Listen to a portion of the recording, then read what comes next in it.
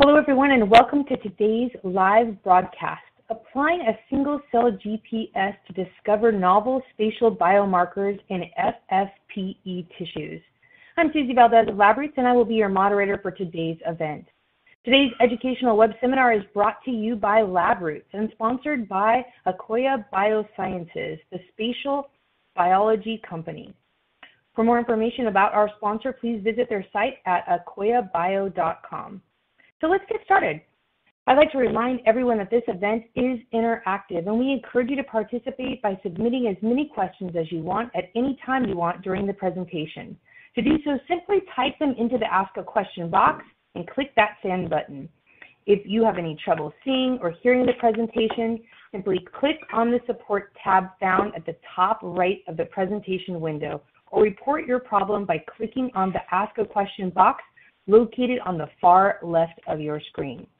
I'd now like to introduce our presenters, Dr. Kohta Miyawaki, physician scientist at Kyushu University, Dr. Aaron Mayer, co-founder and chief scientific officer at Enable Medicine, and Dr. Oliver Braubach, senior manager of the applications at Akoya Biosciences. For a complete biography of our presenters, please visit the biography tab at the top of your screen.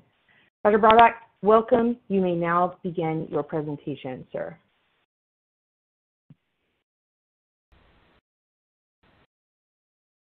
Uh, thank you very much for this introduction, and thank you everyone for joining our webinar today. My name is Oliver, and I'll give you the intro to the following two speakers, Kohta Miyawaki from Kyushu University and Aaron Mayer at Enable Medicine who produced the study that we will be talking about today. It's titled Applying a Single Cell GPS to Discover Novel Spatial Biomarkers in FFPE Tissues. So I would like to lead off this webinar by talking about high dimensional biology with CODEX technology. High dimensional biology, or in situ phenotyping, will, in our opinion, fuel decades of new discoveries. And what you can see here is biological tissue, actually a piece of breast cancer. It's about two millimeters from bottom to top and three and a half millimeters from left to right. This tissue is stained with seven different biomarkers. You can see them here in different colors. Now, if I toggle through this slide, you can see another four different biomarkers plus DAPI. Here are another five biomarkers. Each one of these images shows you a different biology about this tissue. This type of experiment this type of high dimensional biomarker labeling gives you a sense of phenotyping. Every cell is registered and every cell is marked with a combination of many different biomarkers. In the case of this experiment, I have just gone through 32 different biomarkers. Here are four more, but all taken, taken together, there are 36 biomarkers on this tissue. This is a highly multiplex analysis of a breast cancer tissue. With Codex, you can resolve up to 40 different biomarkers or protein targets in an intact tissue. Thus, you can conduct your phenotyping in situ. Once again, this is extremely high dimensional, very, very informative about what is happening in your tissue. Now, one of the things that is absolutely crucial to spatial biology is that every cell is accounted for. And you can see this in this slide. This is a Voronoi plot which is essentially a spatial map of phenotyped cells represented against its true background. So every cell here is registered as either, as either a green or a yellow or a blue item in the position in which the cell is found. You have red basal cells, for example. You have green other types of epithelial cells. And you have a stroma in blue. Every cell is accounted for in a, in a Codex experiment because you have true single cell resolution. You can also see a t-SNE plot here on the bottom left. This is another representation of these cells. Each dot is one cell. Each color is one phenotype. This result is akin to this result. It is the same thing, but two representations are side by side. Now, in a Codex experiment, as I said before, you have high biomarker plexing ability. You can look at many different biomarkers, and every cell is accounted for because this technology relies on optical microscopy which gives you single cell access. So how does the Codex system work and what is the Codex system? Codex is essentially a microfluidic device that you can see here. This is white and blue box. approximately the size of a benchtop printer, and it has a series of valves and pumps that um, handle fluids that are required to run this experiment. This system is based on epifluorescence microscopy and connects seamlessly with imaging systems like the Keyence BZX unit. You can see that right here. So side by side, these two units do not take up very much space in your laboratory. They fit on any bench top, and it's readily compatible with epifluorescence imaging systems. So this is a system that you can easily import into your lab, and it shall not have a very big footprint. How does the Codex experiment work? In its sense, Codex is ultra-high-plex immunohistochemistry. So what do we mean by that? What you can do in a Codex experiment is you can design an antibody panel of 40 or more antibodies. Each antibody is conjugated to an oligo. You can see that little red line here. There's your antibody in black, the little red line is your oligo. Once all of your antibodies have been conjugated with the oligos, you can stain your tissue. All of the antibodies go onto your tissue at once. This is the only manual handling step that you need to do. Incubation time is the only time it takes that you have to wait. Once the antibodies are on there, the tissue is labeled, you can walk away from it and the machine takes over. It's important to note here that this one-step staining procedure is done with reagents that we provide to you. All of the oligos are provided, all of the reagents, um, permeabilization solutions, fixation solutions, and so on and so forth are provided to you. But one question that is also important to address right up front is about the antibodies. So some antibodies, for example, an antibody against CD4 or CD8, are inventoried by us. That means you can buy them off the shelf. However, there are many others that people are interested in. These are not readily available in our inventory. In that case, you just take whatever antibody you're interested in, conjugate it with our oligo, and thereby make it compatible for the Codex experiment. So it is very flexible and adaptable for your type of research if you like. Now, once your tissue is labeled, it goes into the Codex system and goes into the imager. And what happens is all of your antibodies that are now on the tissue, labeled with your oligos, will be um, revealed with oligo sequences that have fluorophores on them. So what happens is the machine dispense, dispense three different types of fluorophores. Each one has an oligo that is complementary to three antibodies. Microscope then takes a picture. You can see that here. This is what we call cycle one. After cycle one is completed, the reporters are removed. Cycle goes back. Tissue is now unlabeled with fluorophores, but still has the primary antibodies on it. The machine then proceeds to add three more reporters on it. These are three reporters that have different oligo sequences than the first round. Thus, the microscope can take a different picture. That's what you would see in cycle two. This repeats itself until all the antibodies, up to 40 or more, that you want to look at have been imaged. And you can see that here. This is a sequence of 16 cycles. Each image is completely different than the other one, but every time we're looking at the same tissue. This is spatial biology. This is how it works, and this is very um, robust experiment. One of the things that's very good about this experiment also is there's no stripping involved, so it's rather gentle. Um, we don't, um, there's no heat treatments involved, it's isothermal reactions. And finally, there are no host-to-host cross-reactivities.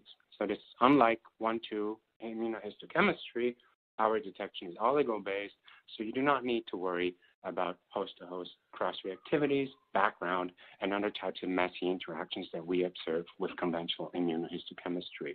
That's what makes this system possible, and that's what gives you a very clean result from cycle to cycle. Now, lastly, I would like to say that Codex is widely deployable. Again, this is based on conventional epifluorescence microscopy, so it allows you to access and image tissues that you would expect from any other type of um, um, fluorescence imaging experiment. So here you can see melanoma, brain, lung, skin, kidney, spleen, even blood cells. All of these are Codex data. Each one of this is Codex experiment that was done on different type of tissue, different preparation, FFPE, fresh frozen, human or mouse. It's extremely widely deployable and compatible with many different preparations.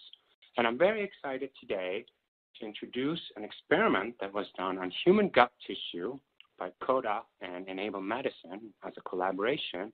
And what they did is they studied graft versus host disease, which is a Uh, an immune reaction that occurs sometimes when people obtain bone marrow transplants, where the donated cells wrongly attack the gut or the epithelial layer of the gut. Um, it's um, not very well known, but the experiment for us was very interesting because it shows once again that this type of biology is highly relevant in making new discoveries and problems that we face today in healthcare.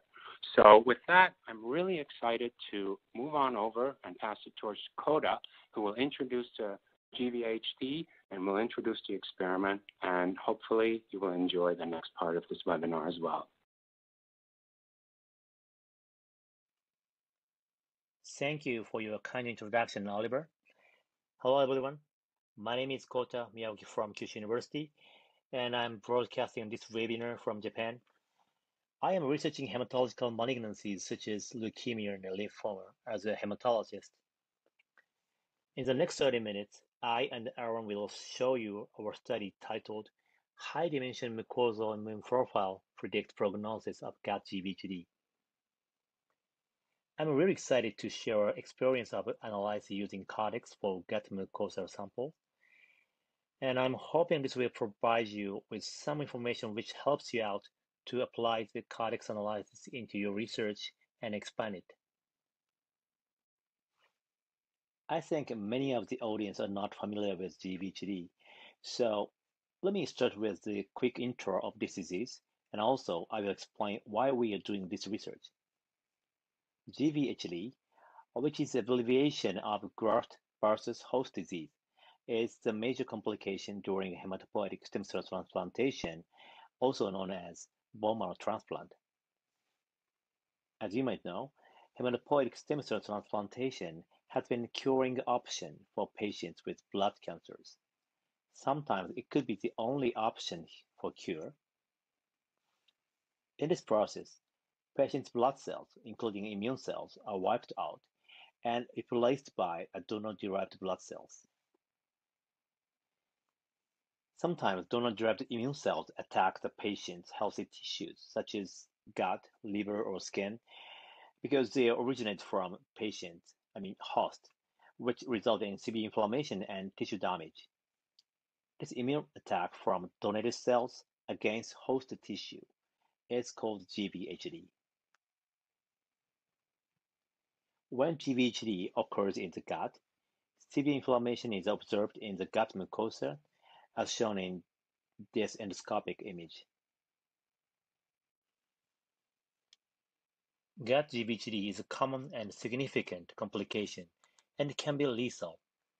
When patients experience severe gut GVHD, like grade 3 or grade 4 disease, their overall survival would be only 25%. So the successful control of gut GVHD is a critical factor of prognosis for patients after transplantation. Current standard of care therapy for gut GVHD is the systemic administration of steroids. But a substantial number of patients eventually relapsed, and their prognosis is inferior, as you can see in the survival curve. Therefore, we would like to know the prognostic factor, like who will respond well to initial surge therapy, uh, which can help us to design the optimal treatment strategy. And also, we would like to know why some patients are refractory to steroid therapy. This situation led us to launch this GVHD study. In recent years, thanks to many scientists' efforts, we have studied to understand what kind of immune reaction takes place in the gut. I cited this figure from Nature Review paper uh, you can see that various immune cells, such as mast cells or granulocytes or innate lymphoid cells, uh, which are essential players in innate immunity, and many T cells. And these immune cells interact with each other in response to gut microbiota, uh, playing a critical role in gut health. However, as of now, which immune reaction affects the clinical course of gut GVHD is still unknown. So we set the aim of this study to understand the underlying mechanism of gut GVHD, primarily focusing on their clinical cause. For this purpose, we first try to understand who is the prognostic determinant among various immune cells. In other words, we attempted to identify cell populations associated with the prognosis of gut GVHD. Also, we try to unveil how they interact with each other, the mechanism associated with clinical behavior of gut GVHD, such as steroid responsiveness. Before diving into results part, I should tell you about the methodological challenges in this research. The biggest research barrier was the sample limitation. Because the samples of gut GVHD tissues are obtained by endoscopic biopsy from severely ill patients who are suffering from severe diarrhea, uh, the sample size and the number of tissues are small and limited in general. In addition to that, biopsied samples are usually archived as formalin fixed tissues called FFP tissues.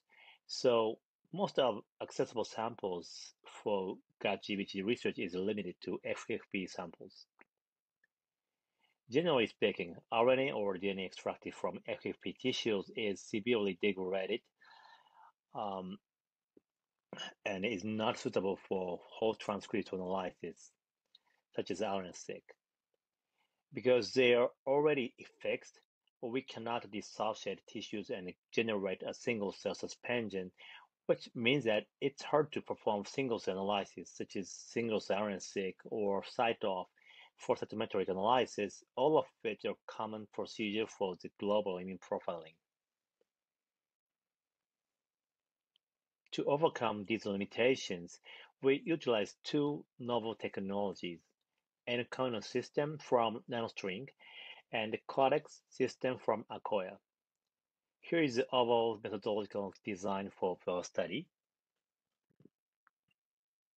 First, we performed global gene expression profiling using the nCounter system. nCounter is probe-based RNA profiling technology and enables accurate gene expression profiling even in RNA from FFP tissues. In this plot, we compared gene expression data from two replicated experiments using the nCounter system and try to see the data's reproducibility. You can see how the data are accurate and reliable. This means that this system can accurately detect gene expression even from minor immune cells in the tissues. Using this system, we evaluated eight hundred of immune-related genes, including cell surface markers or functional molecules, Uh, which define immune cell populations. And we combined a gene expression result with clinical parameters and tried to extract gene, genes linked to clinical outcomes of GVHD. In the next step, we performed multiplex imaging analysis by Codex with the help of Aaron from Enable Medicine. We stained the gut GVHD tissues with 38 antibodies and performed the high-plex spatial analysis to validate and expand the nCounter analysis results. And again, uh, we evaluated these results in combination with clinical parameters we further expanded our analysis by combining the spatial analysis result and gene expression results. Aaron will talk codex analysis in detail in the latter part. Before that, I'll tell you a little bit about what we get from nCounter analysis. Here is the volcano plot, a simple and common solution to compare gene expression levels between two groups and find out genes that are specifically upregulated in either group. This volcano plot tells us which genes are upregulated in steroid responders or non-responders. Each dot represents each gene analyzed by nCounter, so this should be 800 dots here. The x-axis represents the differences in expression levels between two groups, and the y-axis represents statistical significance. Genes located upper right should be favorable prognostic genes, and upper left guys should be non-responder specific genes. And we categorize these genes depending on cell types by color as shown here, including T cells or macrophage subtypes. and try to discover cell populations that are specifically associated with the patient's clinical outcomes. In contrast, uh, most of the macrophage-specific genes shown in red were upregulated in non-responders. These results motivated us to see whether we can stratify patients by mast cell or macrophage signature and are associated with prognosis. This heatmap figure shows the results of the hierarchical clustering analysis. Mast cells and macrophage signature genes were represented as green and red, respectively.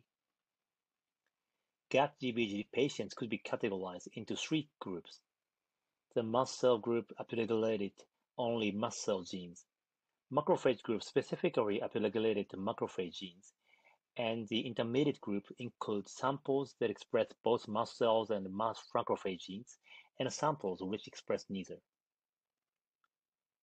As you can see, in this Kaplan-Meier curve, the overall survival of the mast cell signature group is much better than those of macrophage signature.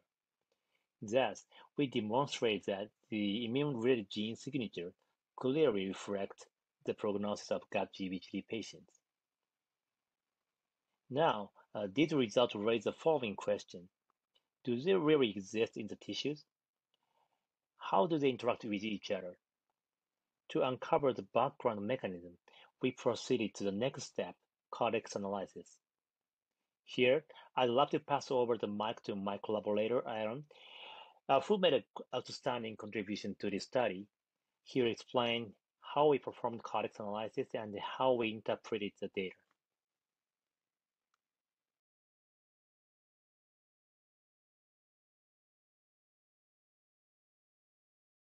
Thanks, Kohta.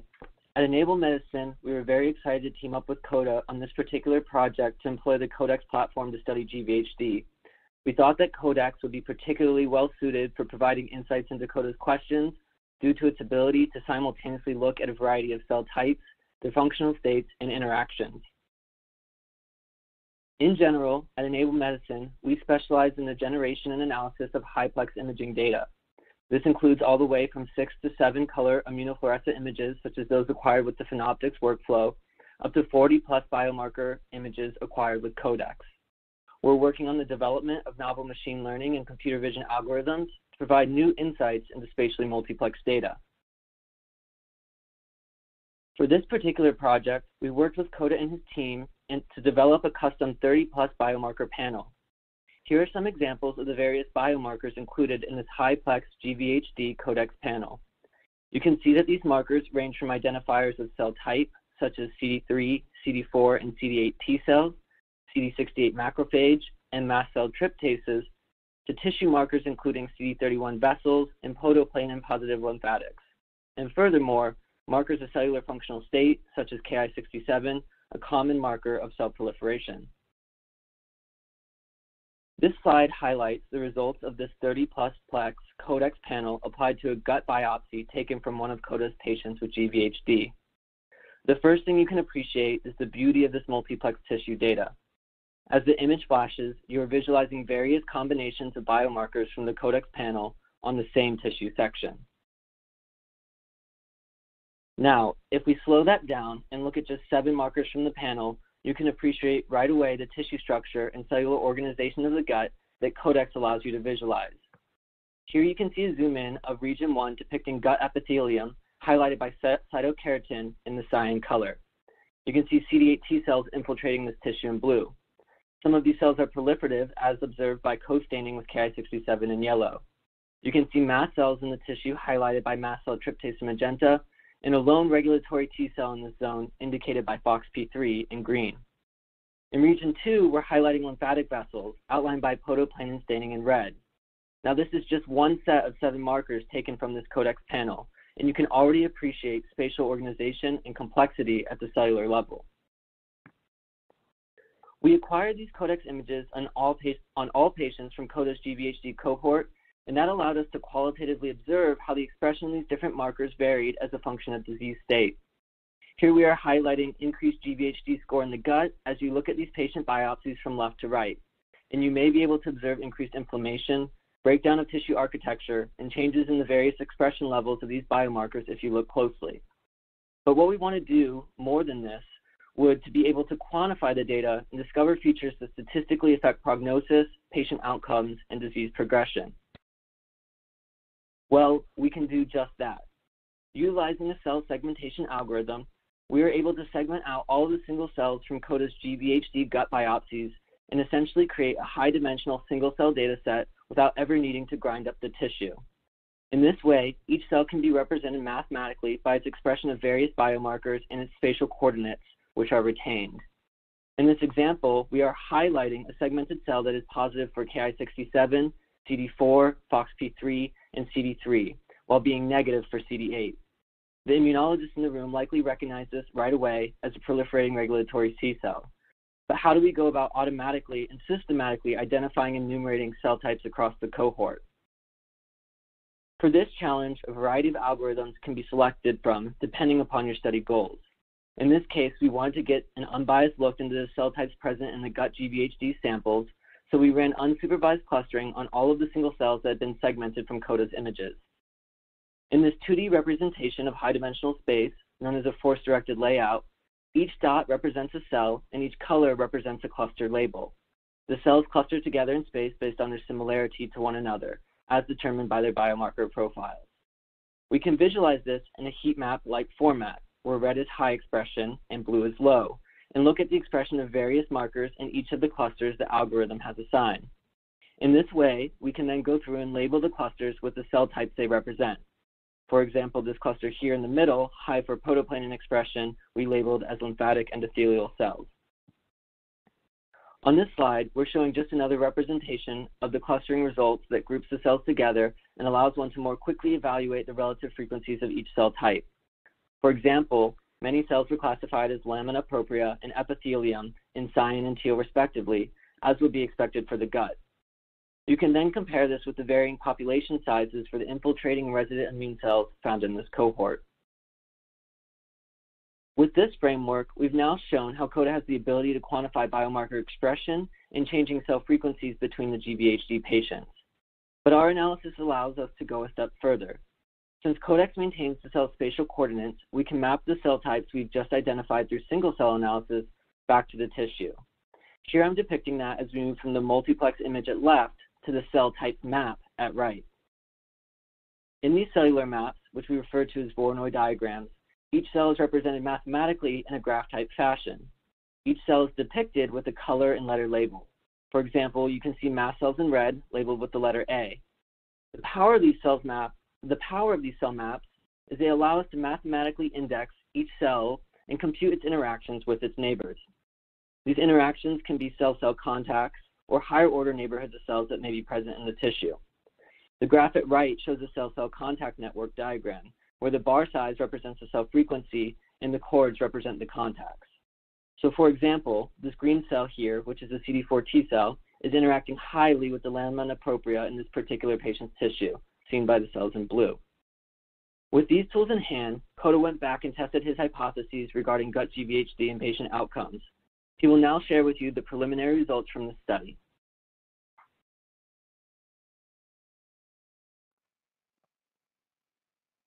Thank you, Aaron. In this study, we prepared 28 gut GVHD specimens, all of which were obtained from endoscopic biopsies. We need to place sliced FFP samples on the cover slips in Codex analysis, as shown in this image.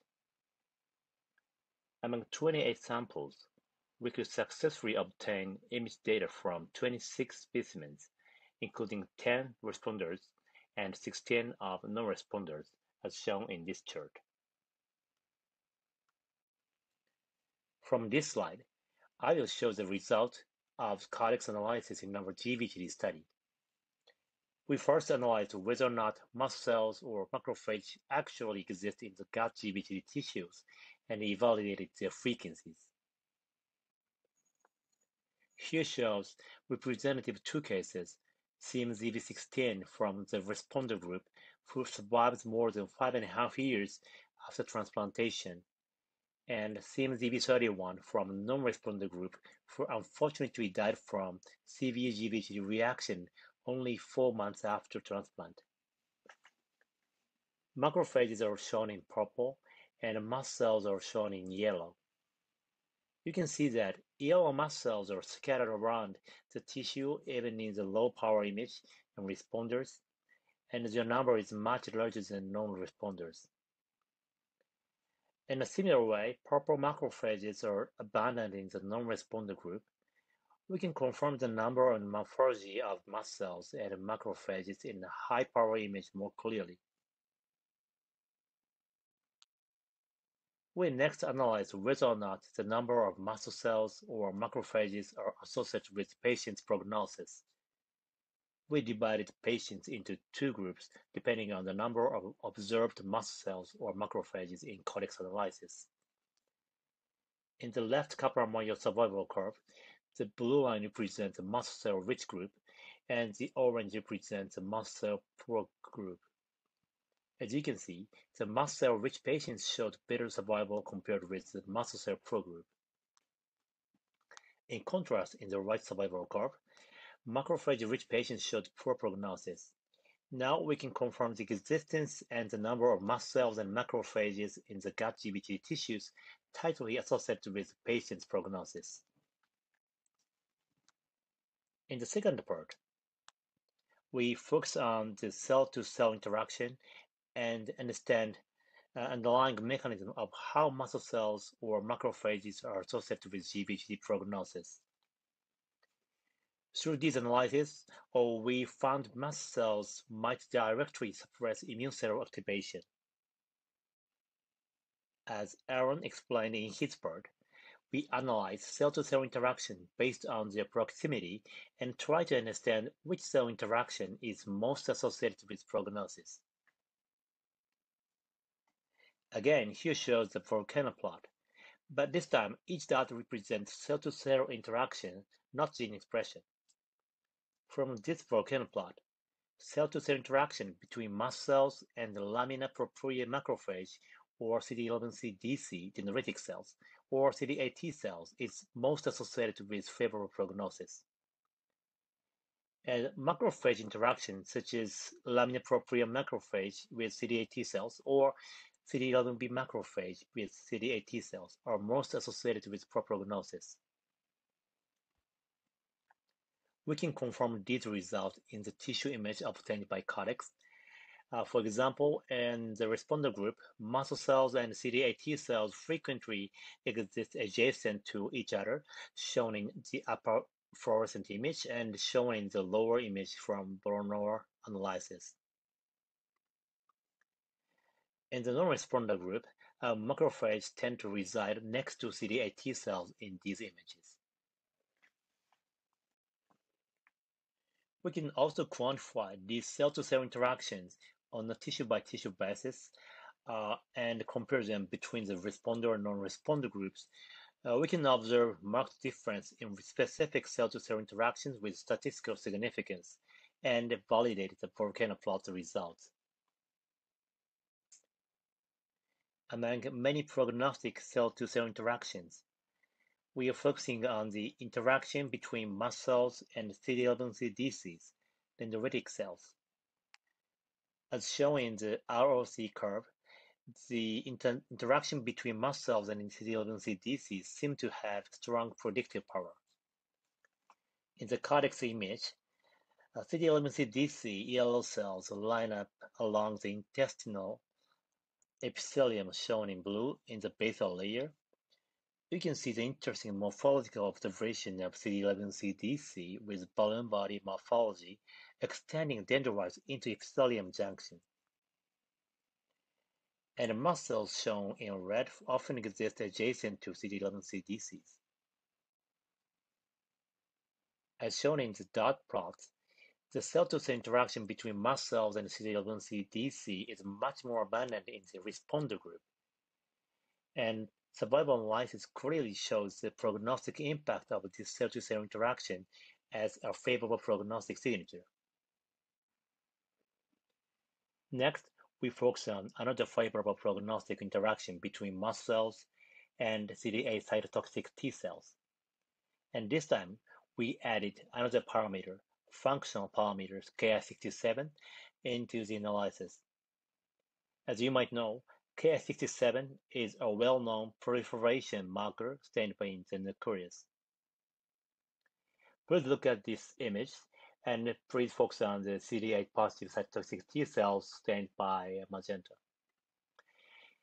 The cells stained both in magenta and yellow represent proliferating cytotoxic T cells.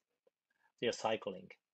And cells expressed the only magenta uh, represent resting cytotoxic T cells. And we notice that cytotoxic T cells adjacent to mast cells tend to be Ki67 negative. Then we quantify the expression level of Ki67 in CD8 cytotoxic T cells and the distance from mast cells. As shown in this figure, most of the cytotoxic T cells located near mast cells are resting. Uh, these results suggest that mast cells might directly suppress cytotoxic T cells and contribute to the inflammation suppression. Finally, we combine the cell-to-cell interaction data from Codex with gene expression data from nCounter analysis. Through this approach, we found that macrophage interaction are associated with inflammatory gene expression. As shown in previous slides, macrophages are associated with unfavorable clinical outcomes. And here, we evaluated the correlation between specific cell-to-cell interaction and gene expression and tried to explore the novel link between them. As a result, we found that cell-to-cell interaction between macrophages and the lymphatic endothelial cell is tightly linked to ATG7 expression as the top-ranked correlation among all combinations. We observed a marked expression of ATG7 in the non-responder group, and in these cases, macrophages and the lymphatic endothelial cells are spatially associated with each other. ATG7 is an autophagy protein, and according to the paper published in this year, ATG7 is a critical regulator of inflammation and promotes endothelial cell permeability and inflammation. So these data suggest the possibility that ATG7 expression induced through interaction with macrophages could be functional molecule and contribute to severe inflammation and prognosis in macrophage-rich gut GVHD patients. As we wrap up the result from this study, in the gut GVHD patients, mast cells may contribute to favorable clinical outcomes by directly suppressing cytotoxic T cells activation to reduce inflammation and interacting with CD11C DCs. Also, uh, macrophages may be associated with poor prognosis by disrupting endothelial cells and contributing to inflammation, presumably through the interaction with ATG7 in the future, we would like to know the underlying mechanism more precisely, such as what determines the macrophage signature. Here is today's recap. We demonstrated a proof of concept study of Akoya Codex in FFPE GVHD gut specimens.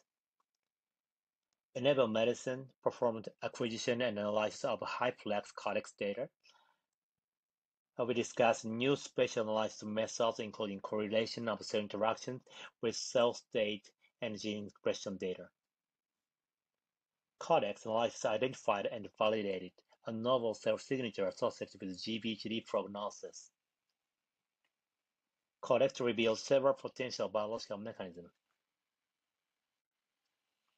Thank you for your attention, and we are happy to take your questions.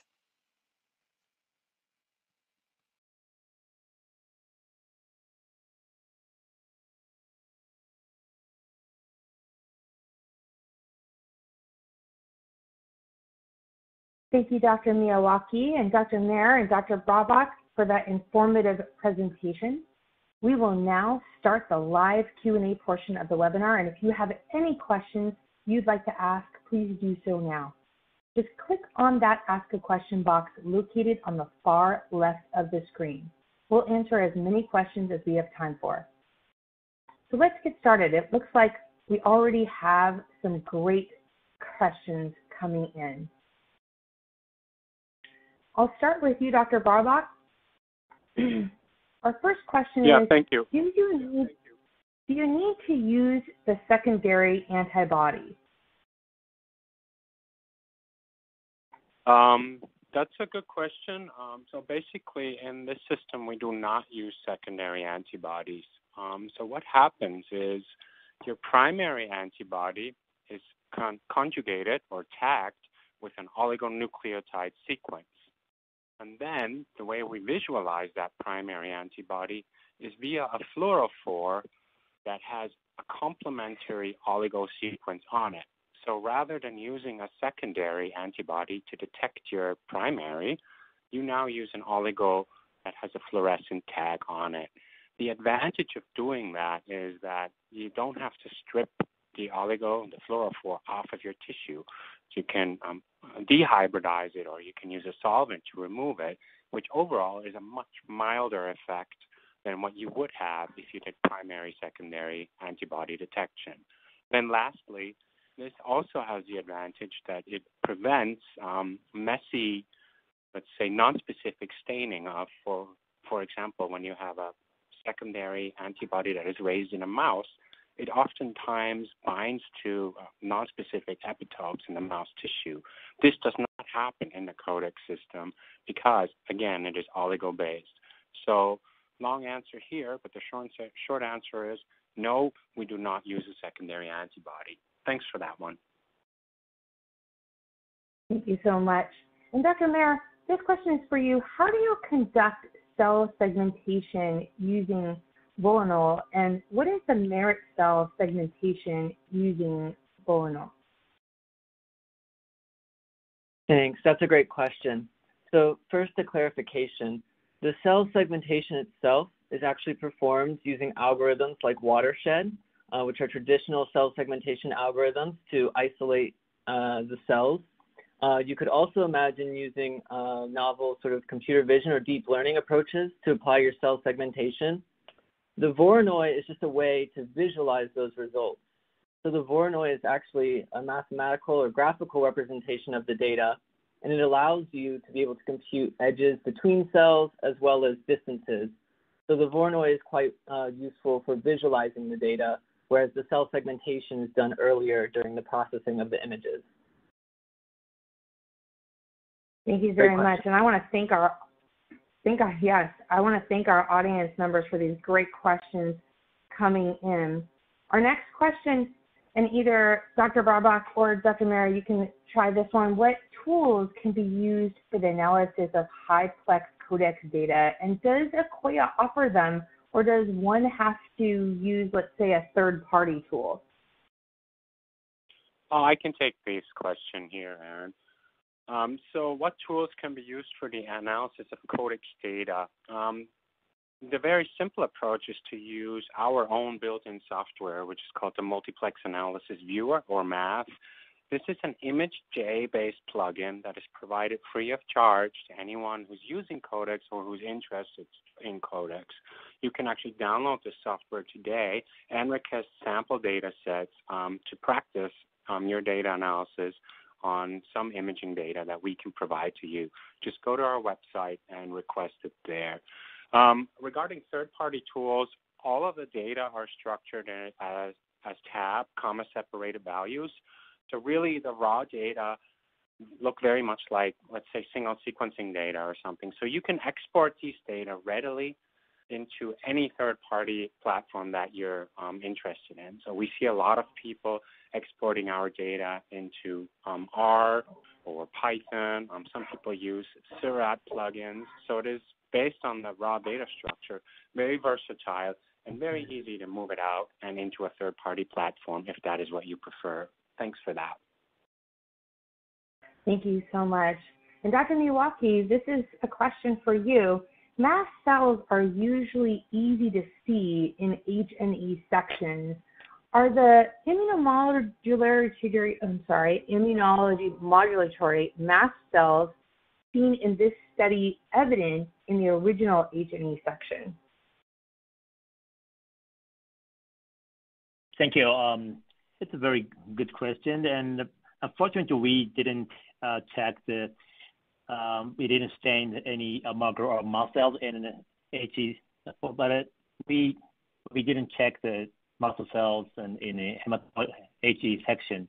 Um, I don't think I, I think we need to stain a specific muscle marker to detect it. Thank you so much.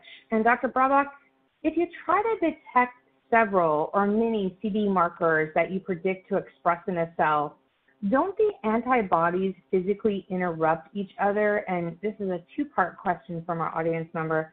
If the receptor occupancy of each marker is quite high, won't any interruption happen? That's a good question. We get that question often. Um, we do not have any empirical evidence that this happens. Um, thus far, there is no no confirmation that this happens. I think on a nanoscale level, you will predict that it's very very much possible indeed, but we have not been able to demonstrate that. I'd also like to note that some of the highest plex um, antibody applications with Codex or, or similar systems they go beyond 40 biomarkers, which is what we're offering commercially.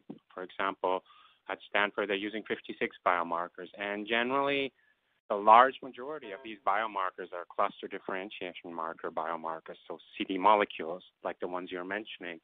And to my knowledge, this has not been an issue or this has not been demonstrated. So with what we provide you, I don't think you need to worry about this. Um, there should be no interruption, and you should be able to faithfully detect the cluster differentiation antigens on the surface of your cell that you are interested in. Thank you. Thank you so much. And again, I want to thank our audience members for these great questions coming in. And if you have a specific question for one of our presenters, you are more than welcome to add their name to your question as well. Dr. Miyawaki, this question is for you. It looks like you placed multiple biopsy FFPE sections on the cover slip. Can you share any tips and tricks on how this was done? Yeah, thank you. Um, it's also a very good question, and yeah, it, it's very um, tough to um, place multiple sections in one slip, but um, definitely it, it can it can save you a lot of cost. Um, so I think I um, some uh, lab technicians uh, could not do that, but uh, one uh, we have fortunately we have very good talented um, lab technician, and he helped me out to play uh, to make a dissection. So I think um, we can communicate uh, with privately. So please give me the email. Um, actually, um, the email, the hyplex and and uh, I can answer personally. Thank you. And thank you so much. And Dr. Mayer, Dr. Braubach, I'm going to ask this next question, and one of you can decide who wants to take it. I understand that Akoya has several panels of antibodies how did you validate the antibody specificity, and how do you validate the specificity of antibodies that have highly homologous family members? That's a great question. I'll chime in here first, and then Oliver can follow up. Um, so in general, one can make custom panels, and uh, there's several ways that you can go about validating the panel. First off, I'll say the antibodies that are known to work well in your uh, tissue of interest, whether that's FFPE or fresh frozen, um, are a good place to start. Then those would be conjugated uh, with the barcodes that Oliver was mentioning earlier to prepare them for the Codex workflow. And then you would stain your tissue, first potentially in experiments where you just use that antibody alone, as well as in combination experiments where you apply co and counter stains.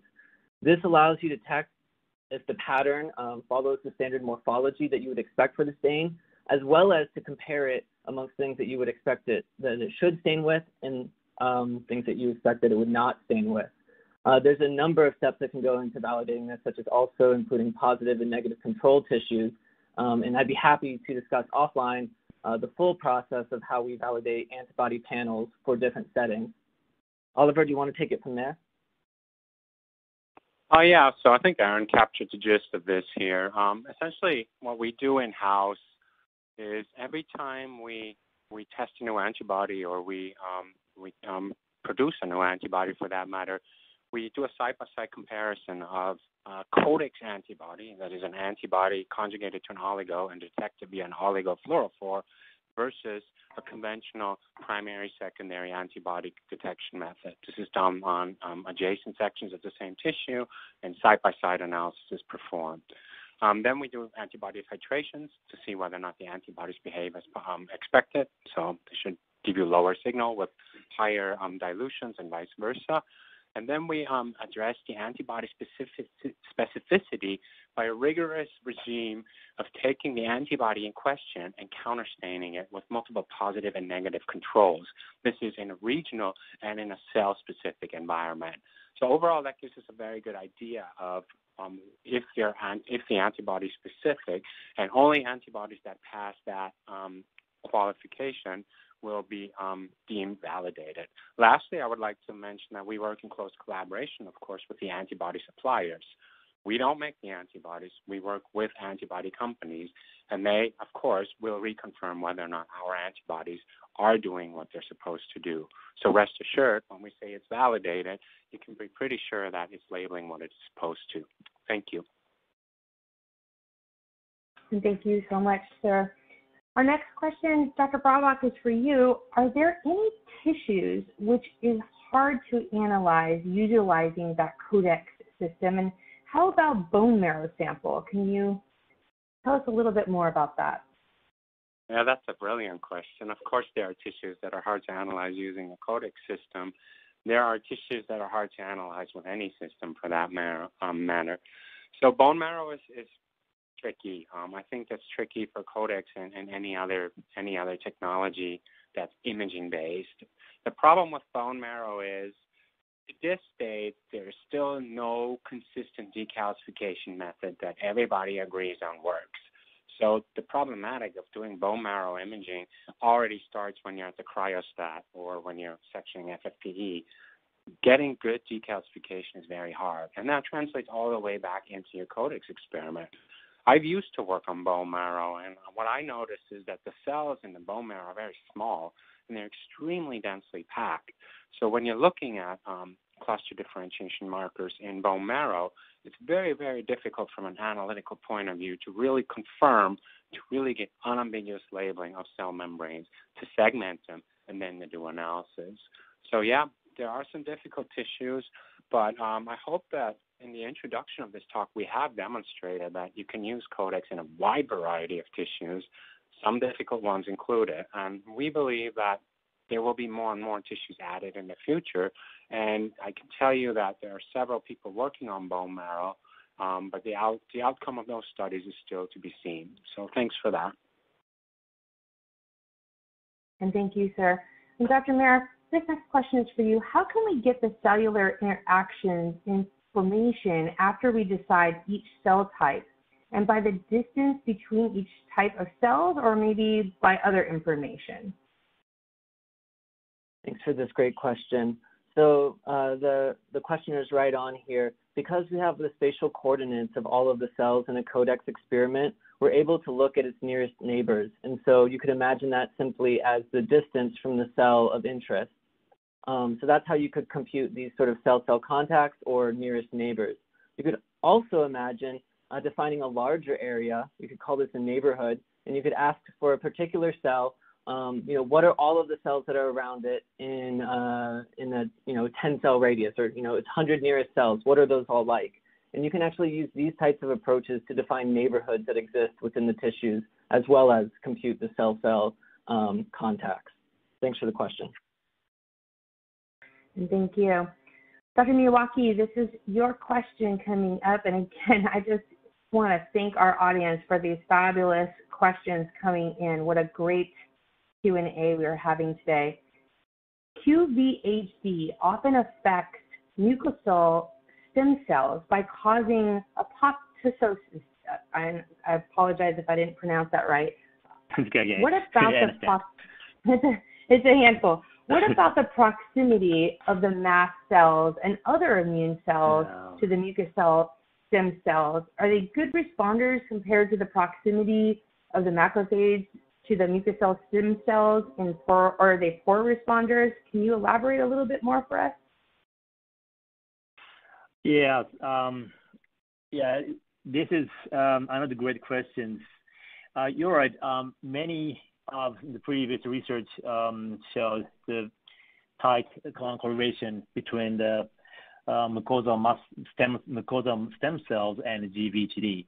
But um, unfortunately, we in this analysis we focus more on the immune cells and not to um, uh, mucosal cells such as uh, mucosal stem cells or secre- secretory cells.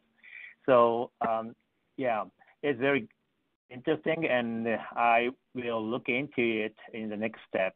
I will look into the relationship, spatial relationship between stem cells and mast cells or macrophages. So thank you for your suggestion. And thank you. And all three of you, thank you so much for your presentation today and for your important research.